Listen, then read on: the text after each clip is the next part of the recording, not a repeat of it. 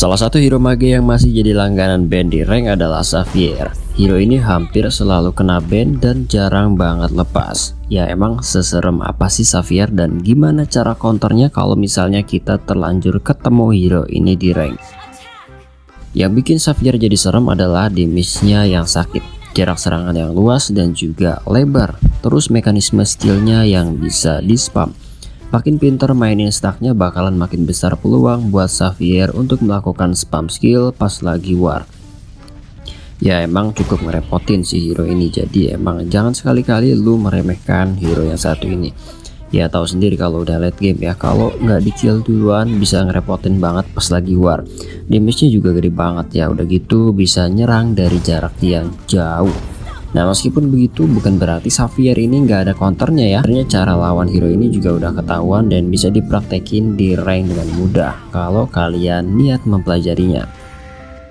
Langsung aja kita masuk ke tips yang pertama. Yang perlu diketahui kelemahan pertama yang harus lu manfaatin dari Xavier adalah gerakannya lambat dia nggak punya kemampuan mobilitas yang cukup baik. Ya palingan cuma ngandelin spell kayak sprint atau flicker. Ya meskipun dia punya skill 2 yang bisa kasih bonus tambahan movement speed tapi skill ini masih sangat bisa di counter dan animasi keluarnya juga lumayan ngedelay.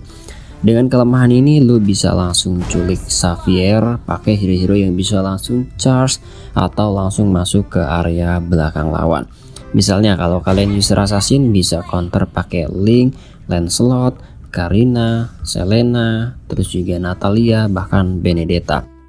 Aduh itu mah hero-hero susah semua. Ya tenang aja, buat kalian yang cuma bisa mage pun tetap bisa mengcounter Cecilion, tapi harus pintar cari momen, positioning dan juga timing yang pas.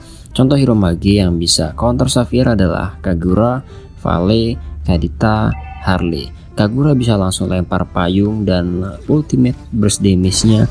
Vale juga bisa langsung manfaatin skill 2 buat combo.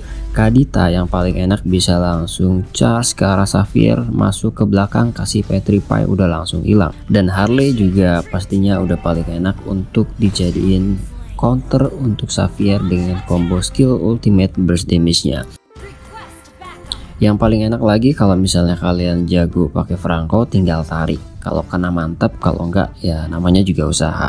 Atau bisa juga culik pakai Chow atau Yuzong yang bisa langsung terbang ke belakang. Pakai Jin juga bisa. Eh, banyak sih sebenarnya kontennya ya, tinggal gimana kalian memanfaatkan strateginya aja. Yang kedua, kelemahan yang harus lu manfaatin buat counter Xavier adalah fase landing di early-nya yang cenderung lemah. Kalau dibandingin magi lain, Xavier termasuk hero yang cenderung lemah di fase laning. Dia cuma ngandelin skill poke doang dan juga clear minion yang cukup lambat.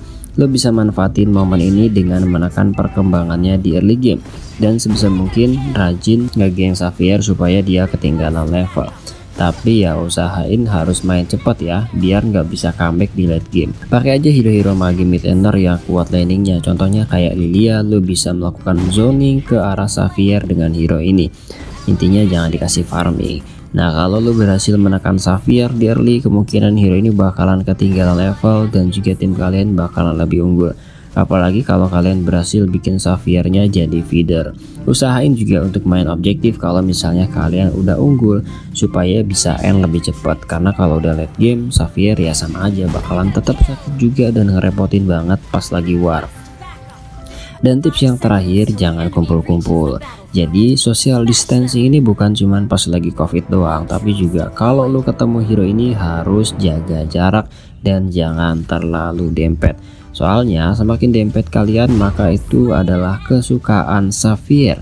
Dia bakalan diuntungin banget dengan combo crowd control area dari skill 1 dan skill 2 nya Jadi jarak skill 1 Xavier ini bakalan nambah kalau misalnya terus-terusan kena ke lawan. Dan juga kalau di combo sama skill 2 nya bisa ngasih area immobilize yang luas dan juga tambahan damage. Kalau udah terlanjur kejebak di situ biasanya langsung di ulti aja udah cukup untuk bikin hero satu tim kalian sekarat minimal karena damage-nya juga lumayan sakit dari skill ultimate-nya. Nah, itulah tadi tiga cara terbaik kalau lu terlanjur ketemu hero Xavier. Nah, kalau nggak bisa praktekin di rank, ya udahlah cari yang mana aja, ban aja langsung.